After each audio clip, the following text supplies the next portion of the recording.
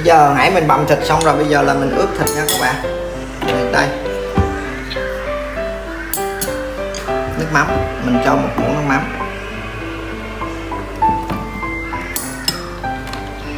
Tiêu. Rồi. Hai viên ngon. Mình cho thân ít. Không thể thiếu đường mà đường bỏ ít thôi nha mọi người. Không nên bỏ nhiều. Miếng bột ngọt.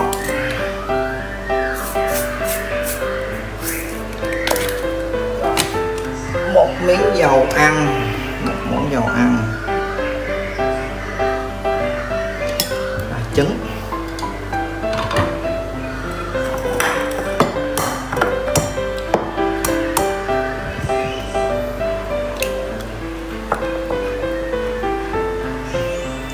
Thì mình lấy lòng đỏ thôi nha các bạn.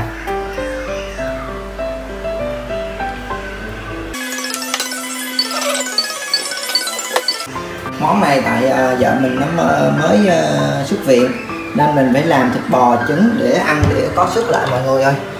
Đã bị uh, covid rồi đó là nó nó nó, nó yếu người lắm nha mọi người. Giờ khi mà mình đi cách ly bị f0 đi cách ly về là mình cái điều quan trọng nhất là nghỉ dưỡng nghỉ dưỡng với tẩm bổ.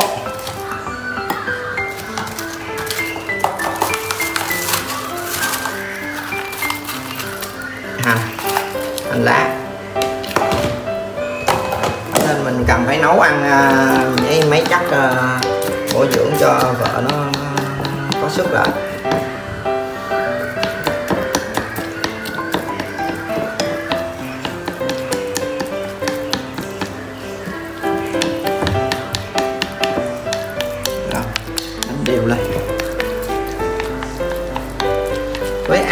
Phải à, có canh nha mọi người. Canh à, để cho dễ húp nhiều lúc ngán lắm. Ngán uh, cơm mà khô thì rất ngán.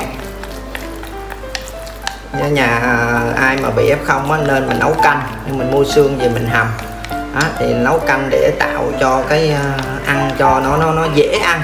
Có nhiều lúc bị f0 mà bị bị mắc uh, mắc vị giác á mọi người đó là ăn không có cái cảm giác, không có lạc tanh nè mất vị giác đâu mà. Mình phải có canh húp. Như hồi xưa mình đi lính á, ăn, vô ăn cái sợ ít cơm, cứ chan canh vô là húp thôi nút trọng nút thí luôn. Rồi cái này mình ướp khoảng 15 phút nha mọi người, rồi mình mới chiên.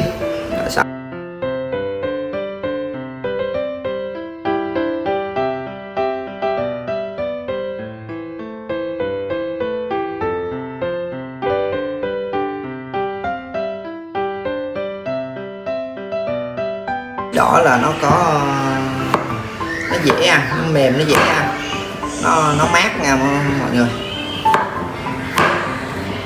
Khi mà bị ờ, f0 là ăn không được đâu ăn yếu lắm ăn ăn cho có để có sức thôi. Còn bây giờ về trong thời gian mà mà hồi phục rồi đó là mình phải tắm vỏ vào. Thì ờ, do nguyên nhân mình trở thành đầu bếp á, siêu đầu bếp á, là cũng do là chăm sóc vợ bị f0 nên mình mới trở thành siêu đầu bếp được. Mình làm gì mình chú tâm vô là ok. Bò thì mình ướp đây, còn cái này để chút mình ờ, mình ờ, mình chiên chiên trứng mặt trời nha. Mình làm món trứng mặt trời lại nha. Đây là thịt bò mình ướp nãy giờ chắc khoảng năm rồi. Khoảng cho thêm 10 phút nữa là bò mới ngon. Bây giờ đây là cái thịt thịt heo thịt heo bằm nhuyễn để nấu canh. Rồi, bí đỏ đây nha mọi người. Rồi, bây giờ mình vào công thức chế biến. Rồi mình à, bắt đầu nấu nấu món canh trước nha mọi người. Món canh thì hơi lâu một tí, mình nấu trước món canh.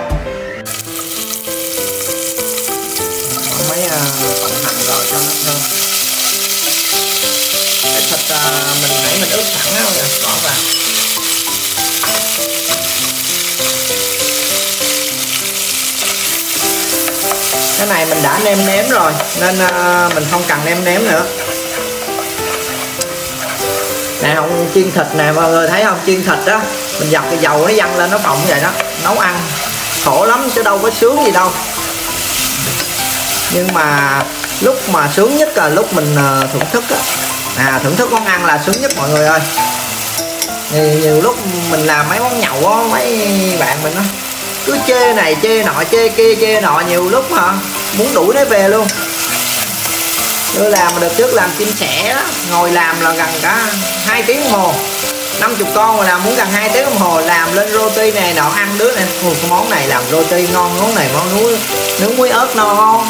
Nó món này à, cà ri chấm với mì ngon. Mà nó má bọn bay. Bọn bay xuống bay làm đi.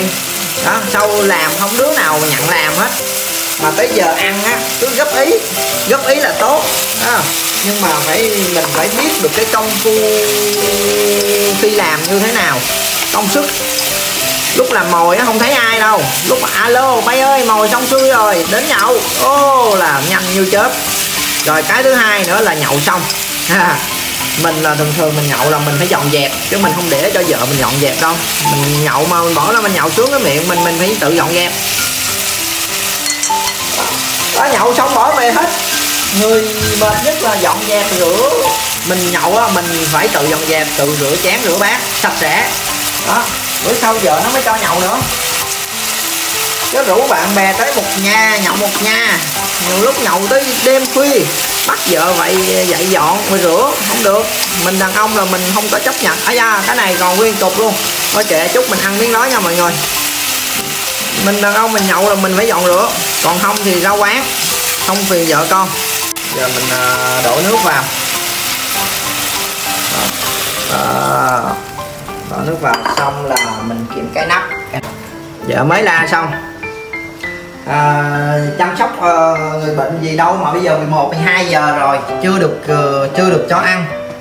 Kêu ráng từ từ đi anh quay hết clip lá rồi mình bật cái bếp này thì mình chuyển cái nồi này qua đây để mình chiên thịt nha mọi người. Canh thì mình bỏ qua qua bếp bên kia mình nấu. Bây giờ thì mình tranh thủ để mình chiên cái uh, cái thịt bò này nha mọi người. Nó ướp khoảng được 15 phút rồi. Thì uh, chả trong chín thì mình cũng không cần dầu nhiều đâu càng ít càng tốt. Cái này như à, mình là chuyên gia ăn ké mà. Nhiều lúc con nó thèm cua thèm ranh mua mình ví dụ mua con ăn con thì mua hai con à, để mình ăn ké thôi chứ không gì hết á.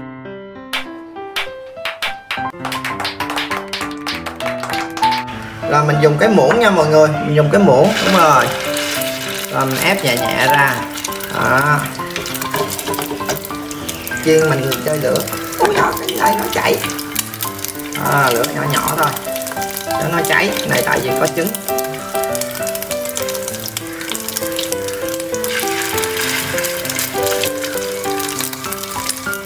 Lúc một mình cũng là tiếng nấu lắm.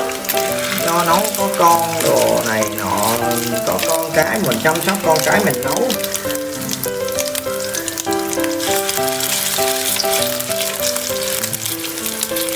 Con à, bé chuột nhà mình nó thích ăn à, món này lắm nha mọi người. Một tuần nó có thể ăn được tuần được á. Nhưng mà mình hạn chế con nít là hạn chế cho ăn trứng. Ăn trứng một tuần chỉ ăn được hai trái thôi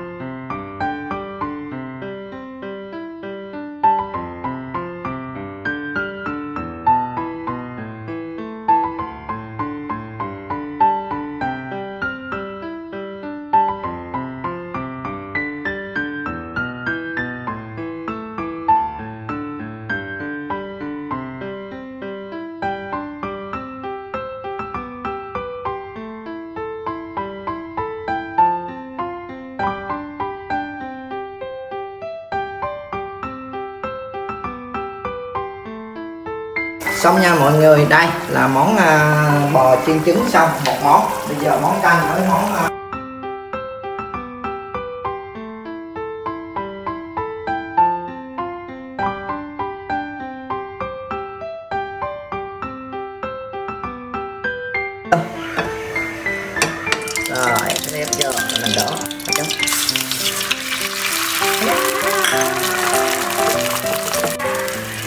Rồi chào mọi người nha. Món uh, trứng chiên mặt trời đã xong Và cũng là kết thúc cái video này. Mọi người hãy đăng ký giúp mình để theo dõi video tiếp theo. Rồi xin chúc mọi người một buổi ăn thật là ngon miệng và vui vẻ. Cảm ơn mọi người.